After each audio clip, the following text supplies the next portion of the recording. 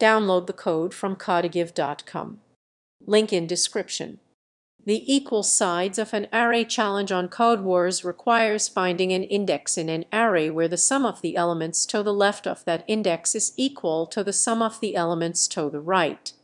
The problem tests ON's ability to efficiently traverse and analyze arrays while maintaining a balance between left and right sums.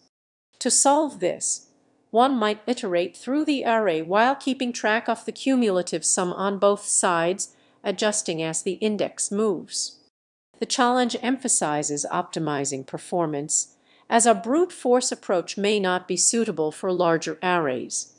If a suitable index exists, the function should return it otherwise, it returns 1.